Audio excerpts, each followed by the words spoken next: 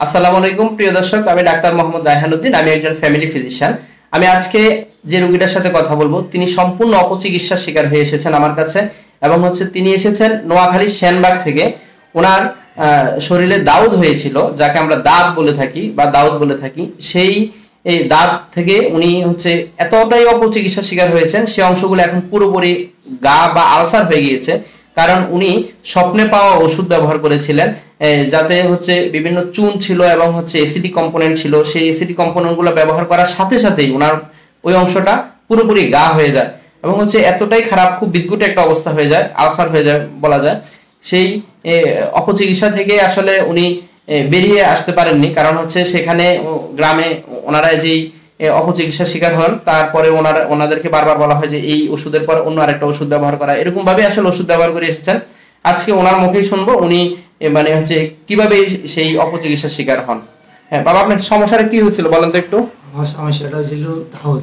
দাউদ হ্যাঁ। দাউদ হয়েছিল আমি ওনার কাছে গেছিলাম। হুম। যাওয়ার পরে হুম হুম। আমারে এগুলা দিছে। কি দিছিল আপনারা? দিছে একটা বাড়ির ভিতরে হুম। কয়েকগুলা মলম। তারপরে চুনের চুনের হ্যাঁ, হ্যাঁ। আবার কি একটা বড়ি দিছিল এগুলা খাওয়ার জন্য। এগুলো খাওয়ার পরে? এগুলা খাওয়ার জন্য আমার হ্যাঁ। লগে লগে আমি এগুলা আনি বাড়িতে আসি গরম পানি দিয়ে এগুলা ধুইছি। দুইছেন ধোয়ার পরে ধোয়ার পরে একদম পুরো এই অবস্থা হচ্ছে ওনার। হ্যাঁ। টোটালি আমি ওনার পিছনটা একটু দেখাবো হ্যাঁ?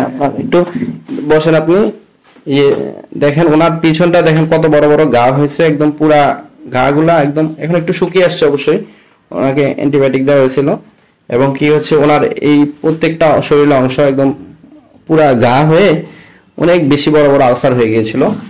যত মানে লাগানোর সাথে সাথে এই সমস্যাটা হয়েছে। মানে রাত্রে দেখতেছি যে হ্যাঁ। অবস্থা চলে গেছে। কিন্তু আসলে ওনার সমস্যাটা হচ্ছে কি যে আমি একটু যদি দেখাই ওনার সমস্যাটা হচ্ছে আপনি একটু পায়ের ফ্রেশ জায়গাটা একটু দেখান তো আমাকে। এই আসলে হচ্ছে ওনার এই সমস্যাটা হচ্ছে এরকম দাউদ। জাস্ট হচ্ছে দাউদ কিন্তু হচ্ছে উনি যেটা ব্যবহার ব্যবহার করার সাথে সাথে ওনার এরকম গাটা হয়ে যায়। আসলে কিন্তু এই দাউদের ছোট অল্প। এগুলো অল্প ছিল। ছোট একদম অল্প ছিল। হ্যাঁ, ছোট ছিল এবং এটা কিন্তু ওনার পুরো শরীরে হয়ে গেছে একদম পুরাটা শরীর ওনার। মানে হচ্ছে উনি যে যেখানে যেখানে এখন হচ্ছে একদম পুরা এই যে এদিকে এদিকেও আছে এখন।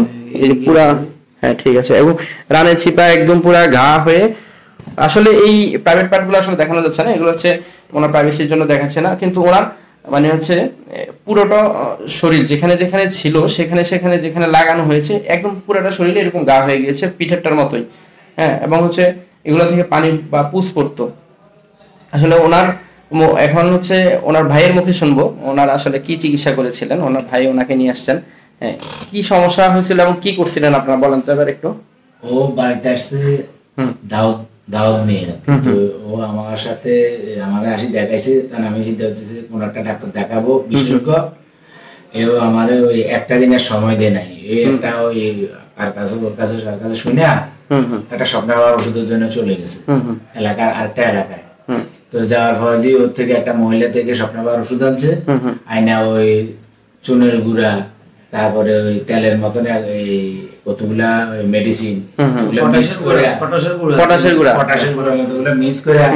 ওর শরীরে লাগাইছে। লাগার পরে দেখতেছি যে ঘরে বাইরে বাইরে রাস্তা রাস্তা শুরু করাইতেছে আর কান্না করতেছে চিকরাইতেছে এত এত বেশি মানে জ্বলতেছিল হ্যাঁ তো বেশি চলতেছে ফ্যান চালা দিছি মানে কোনো আমি উপায় নেই।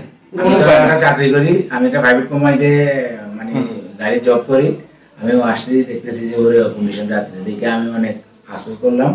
করার পরে দিয়ে আমি একটা ওই এলাকাতে একটা ডাক্তার দেখাইছি ওই পরে অ্যান্টিবায়োটিক দিচ্ছে আর হ্যাঁ? Antibiotic antibiotic দেওয়ার দেওয়ার পরে কিছুটা কিছুটা একটু টান ধরছে এখন টান ধরছে। কিন্তু আরও খারাপ হয়ে গেছিল। আসলে আজকে আমার এই ভিডিওটা যারা দেখছেন তাদের উদ্দেশ্যে বলব যারা আসলে এরকম স্কিনের সমস্যা নিয়ে আপনারা অপচিকিৎসার শিকার হচ্ছেন অবশ্যই আপনারা একজন নিকটস্থ ডাক্তারের পরামর্শ নেবেন একজন রেজিস্টার্ড ডাক্তারের পরামর্শ নেবেন। কারণ হচ্ছে এই স্কিনের এই সমস্যাগুলো আসলে এরকম এসিডিক জিনিস বা চুন দিয়ে অথবা হচ্ছে বিভিন্ন ধরনের মানে হচ্ছে এসিডিক জিনিসগুলো বা এগুলো ব্যবহার করে আসলে কোনো ধরনের উন্নতি পাওয়া যায় না। বরং এগুলা ক্ষতির শিকার হয়। ধন্যবাদ সকলকে। আসসালামু আলাইকুম।